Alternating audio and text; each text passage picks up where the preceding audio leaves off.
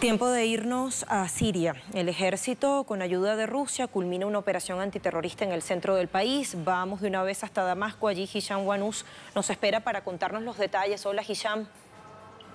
Sí, buenas tardes Lucía, saludos amables televidentes. Efectivamente ha culminado la primera fase de la operación militar conocida como limpieza del desierto blanco en la región central de Siria, lanzada el pasado 18 de agosto por el ejército árabe sirio con el apoyo de Rusia. En esta operación que culminó este lunes 24 de agosto participaron la Fuerza Aeroespacial de Rusia, la Fuerza Aérea Siria, asesores militares rusos, la artillería del ejército árabe sirio y unidades especiales de las Fuerzas Armadas sirias y culminó con la eliminación de 327 terroristas y también la destrucción de 134 refugios, 17 puestos de control, 7 eh, almacenes y 5 depósitos de armas y municiones subterráneos. Y según informó la parte rusa, esta operación continuará hasta la eliminar, eliminar todos los reductos terroristas en la zona central de Siria, en la zona del desierto blanco, bajo control de Estados Unidos,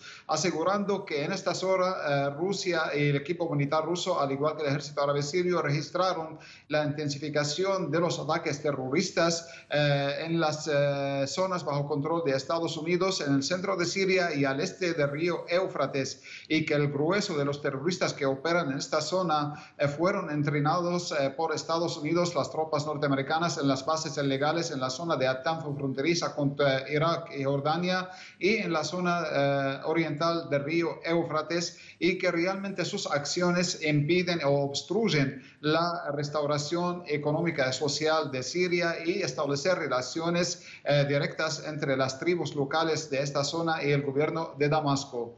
Cabe destacar también que esta operación eh, comenzó el día 18 de agosto pasado, el mismo día en que los terroristas detonaron un artefacto explosivo en la orilla de una carretera por donde atravesaba un convoy eh, militar ruso después de haber realizado una operación humanitaria en la cercanía de la provincia de Deir al este de Siria y este ataque terrorista causó la muerte de un mayor general ruso y la herida de otros dos eh, militares rusos. Y esta operación militar podría también ser una respuesta a este ataque terrorista. Cabe destacar que el ejército árabe sirio, al igual que los rusos, militares rusos, pretenden continuar esta operación y apoyar al ejército nacional de resistencia tribal que surgió en la región noreste de Siria para eh, expulsar a las tropas invasoras norteamericanas a las llamadas fuerzas democráticas sirias que operan apoyadas por Washington contra la población civil en Siria. Adelante, Lucía.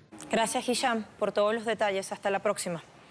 Despedimos a nuestro corresponsal.